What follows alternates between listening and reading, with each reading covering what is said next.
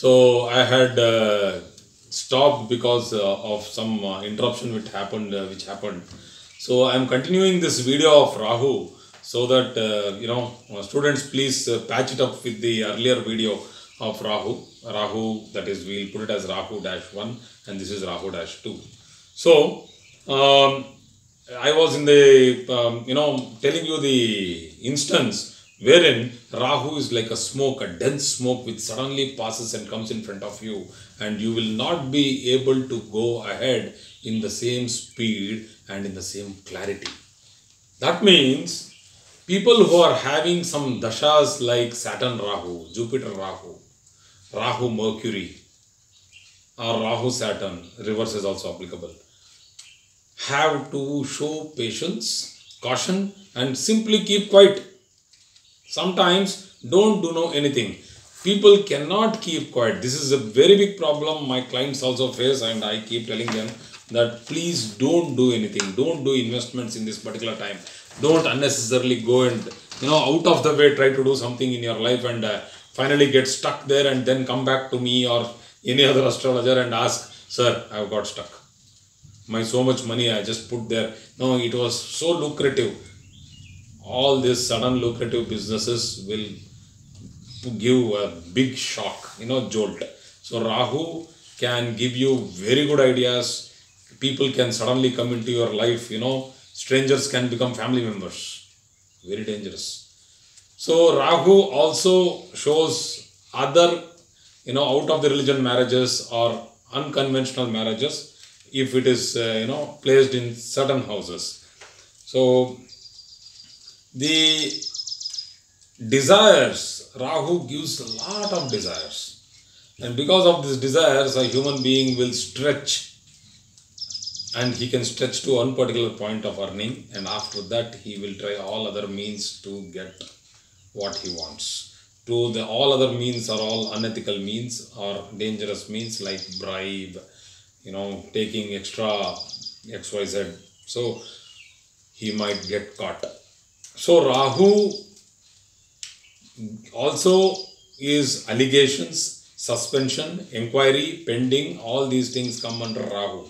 So, in some cases, false allegations, humiliation also happens, and that has to be understood by seeing the chart. These things we cannot do at now, this time, uh, as my class progresses, and if people are having patience to go through each class at peace and slowly try to understand then all your questions of complex questions of retrogression uh, rahu with other combinations like saturn mercury or uh, saturn in this house what will happen? If saturn and venus in that house what will happen? All that will be solved as and when i'll be teaching slowly. Let us not jump into you know conclusions and bigger uh, astrological uh, teachings now. Let us wait and go slow. So, usurping others' possessions, paradhana, like wanting something which is not yours. This is greed and jealousy, everything put together. It's a very dangerous thing. So, they become obsessive, abusive, indulgent, and also they they become sometimes go to levels where they start harassing people. Okay. So they they rahu represents engineers electrical and mechanical engineering all core subjects of engineering even the civil engineering comes under rahu where actually they have to go to harsh and tough uh, places to work you know people going through market going on uh, you know continuous travel marketing taking orders executing them these things come under rahu and uh, they own big industries and like tough uh, tough industries like the tanning industry. You know leather tanning industry. Uh, we have a lot of leather tanning industry in the northern uh, india in up and other places. So that's a tough industry to work at also. So salt industry one another very tough industry to work, refineries, smelting, waste recycling, ship breaking, blacksmiths, you know, blacksmith, not all blacksmiths, the bigger ones, uh, who are going to go in industrial level. So sh- shoemaking, you know, this also comes under Rahu. Liquor marketing, adult, uh, you know, adulterations. You know, making uh, uh, three is equal to four. That doesn't happen. You know, three quarters is equal to one. If you are trying to do that, that means you are adding something which is not that. So making something pure, impure is adulteration, and you can see adulteration everywhere nowadays. Getting a pure material like uh, you know some raw material or cooking uh, material is so difficult nowadays. You you see adulteration and like putting artificial colors, uh, mixing artificial sweeteners, uh, taste enhancers, emulsifiers, X, Y, Z, all that can cause cancer. We all know that, but we cannot stop ourselves from going there and buying those packed food, you know, without even reading their contents, and we are ready to eat them. So all that is Rahu behavior. You do Rahu behavior, you suffer from Rahu diseases. You do good behavior, you suffer from less diseases. Simple. So, so um, Rahu also represents insanity, irrational behavior, neurological dysfunctions. So many big things Rahu represents. Rahu is a big planet. That's why I think it cut off in the middle and it made me do two videos. So, gaudy in color, animalistic. They do not have that humanistic behavior, animalistic behavior. Loss of logic. Logic dies there. You know, and uh, hard working but they are they do whatever they are doing they do it to the best. So it also represents non-veg cuisine. All that cuisine which you can't make out what they have put inside. Most of the cuisine uh, um, there are some uh, you know um, uh, oriental cuisines where you will not even understand what is there inside the food. They have to be careful there. For them even crickets are vegetarians food so we have to be careful when we go to the orients to eat. So uh, loud they are very loud blind in faith. This is one thing which is very dangerous. This is what causes them to believe somebody fully and become terrorists. So they have blind faith. The other way around also is dangerous that you believe something and you start going against the other religion. Inside india it happens. So that is also blind faith and it is represented by rahu superstitious beliefs taboos social taboos social superstition this is also coming under rahu which is also one of the most dangerous things superstition has come down to one particular level but it is not fully eradicated we need to eradicate it so the mm, Devata or uh, in Hindu mythology, Rahu represents Vana Durga. When Shukra represents Durga, uh, Rahu represents Vana Durga. So I will tell you the representations of other uh, planets also. This doesn't play a very important role because people unnecessarily are taking this and uh, going in for you know religious uh, uh, remedial measures, traditional religious, which I am a little, uh, you know, skeptical about. And we'll talk about that later when we come to all other things like that. Hatha Yoga. Hatha Yoga, uh, in the sense that not not every planet can do Hatha Yoga. Ketu, Rahu, only these people can do Hatha Yoga. Ketu can do Nirvana, going into Vipassana, totally avoiding food to a certain level and going into Hatha Yoga. But Rahu can become Aghora, going into too much of indulgence, going into everything. You know, Rudra Rupa. This is Shiva Rupa, that is Rudra Rupa. That is what we call in the Hindu mythological levels. So, this is Hatha Yoga with regard to Aghorism. Okay, so these people sometimes become pessimistic and sadist. sadist. So, sadist is a very dangerous person for the society and they can do anything you know many criminal activities you know even uh, the chain murders or uh, people who con- continuously keep committing offenses come under rahu so i am telling too many bad things right but good thing about rahu also i have told that they are industrious oriented they when they give charity they don't even see whom they are giving they will pour money like like anything because they get money, a lot of money. So just they give money like anything. So these people, it is good to work under these people, though they are very rude, they will take care of your whole family. They are very good bosses, except their behavior is extremely rude. So that happens.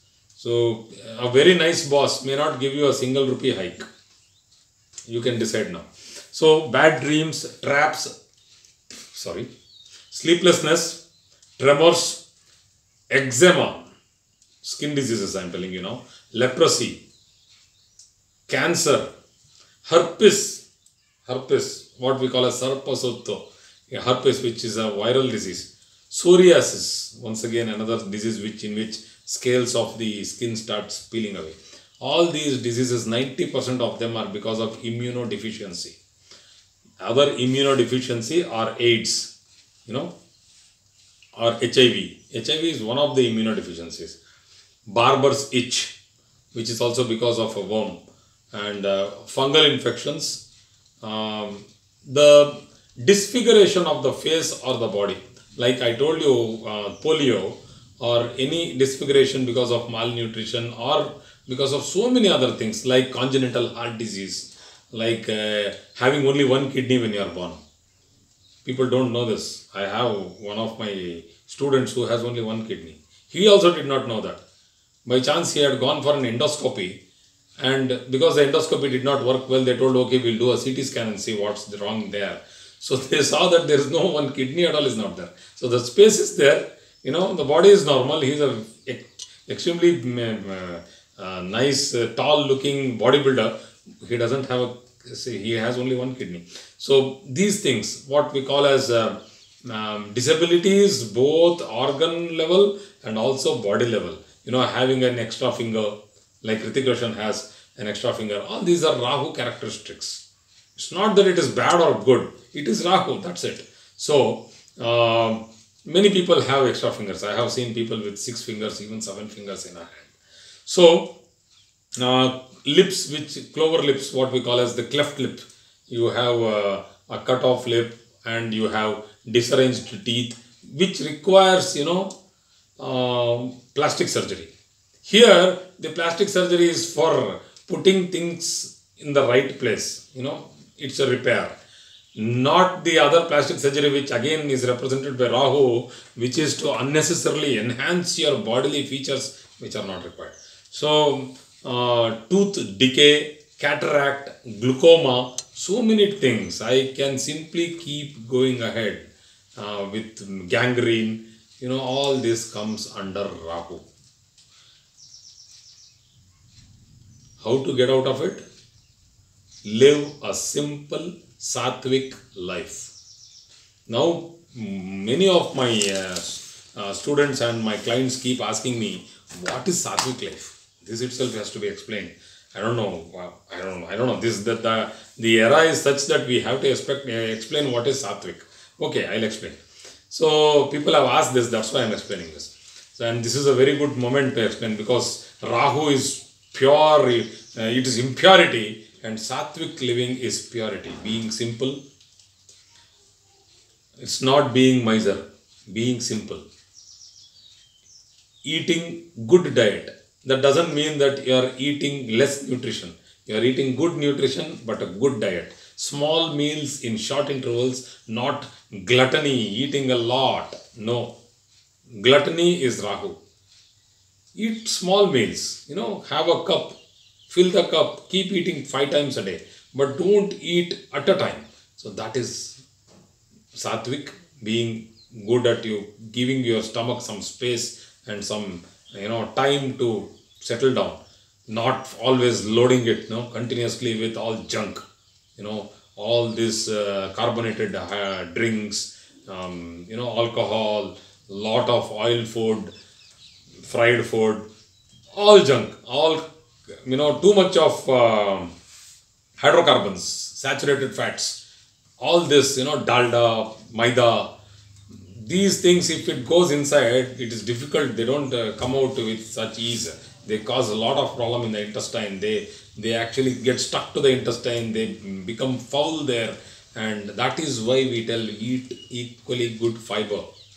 So eating sattvic food means your balanced diet, good fiber, good legumes, good pulses, good cereals, good greens, good uh, lentils, sprouts, fruits, all sorts of things mixed together. This is what is sattvic balanced diet. We don't eat this nowadays. We eat a lot of hydrocarbons. We eat a lot of uh, saturated oils. We eat trans fat. We eat chocolates which are not required. A single chocolate bar is around 300 to 500 calories.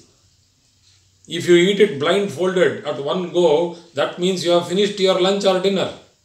Can you digest only one chocolate? Is it enough for you for the whole day? Or for the whole day, a person can, a normal average human being can live within 1300 calories to 2100 calories. Even an athlete who does a lot of jogging, running, and everything will eat around 3000 calories. If you eat a chocolate before lunch, just imagine the obesity it causes. Rahu causes dirty obesity. It's not just Jupiter's obesity like looking plump and good.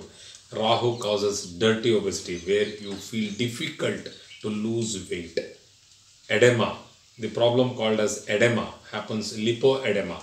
This happens in Rahu. So, living a sattvic life is sleeping well at night at the right time between 9.30 or 10 o'clock. You have to go to bed. Go to bed. Don't use electronic gadgets. Less number of, less electronic gadgets, less hours in electronic gadgets will prove your brain to, you know, your brain can sleep easily at night too much of computers, too much of phone, too much of WhatsApp, and too much of phone calls is so dangerous that it doesn't let your brain go to rest. So it you will have sleeplessness, insomnia. Insomnia is one of the dangerous diseases which will cause tertiary disease. This primary is insomnia. Secondary you will have digestion problems. Tertiary you will have loss of pancreas and loss of kidney. Who wants all this nonsense? you make sense, you put sense to your life, you will not have a nonsense life. You will have a sensible life. You put nonsense inside your body, you will have a nonsense life. It is like if input is junk, output is junk, your life is junk. If input is sattvic, your output is sattvic. You should choose it now. All Rahus who are listening today, please choose this between. So, good sleep, you know, good sleep and good food will give you good excre- excretionary practices. You are, you know, going to the loo will be easier. You will not spend too much of time there and you will not make faces when you are sitting in the loo. You will finish your loo within minute and you will come out very clean, free. Your mind is free. You don't have too much to cry about. You will not have piles, you will not have rectum problem, no colonoscopy, no colon cancer, nothing we eat junk, we'll go through so many things. Just imagine the clogged pipe under the sink of your kitchen. You'll understand that's what we don't eat. What what is about what all we eat? Just imagine the sanitary system, the piping inside our body. God bless. So please eat well, sleep well, exercise well. Every day you need to get up in the morning, go for your walk, do whatever. If you, I, I do my exercise. If people keep asking me what is my exercise, I take my cows for grazing. You know, घास भैंस को घास चढ़ाना this is my exercise i, I don't i'm not joking i, I don't I, i'm serious so when i stand one hour or half an hour or 40 minutes or even two hours someday and i'm happy when i see my cows all grazing grass. I'm, I'm happy. And actually it is good. Please go and study articles when you feed animals and when you see animals feeding particularly the herbivores you know. I'm not seeing i'm not i'm not watching hyenas tearing flesh and eating meat. No i am watching my cows grazing grass. And i feel happy content. And you get a good meditative thing because you're not thinking anything you're not doing anything i'm not uh, watching my any you know whatsapp or nothing no phones so, a good workout every day. Gardening is the best to come out of Rahu. Just gazing at the sunrise for half an hour, early sunrise, that is just when the sun comes out of the horizon, will solve your problems of Rahu. It will give you good, you know, cosmic vibrations into your body. So, please come out of Rahu and we will live like Jupiter's, Venus, and Sun and Moon. Thank you very much for today's date. uh, today's uh, class.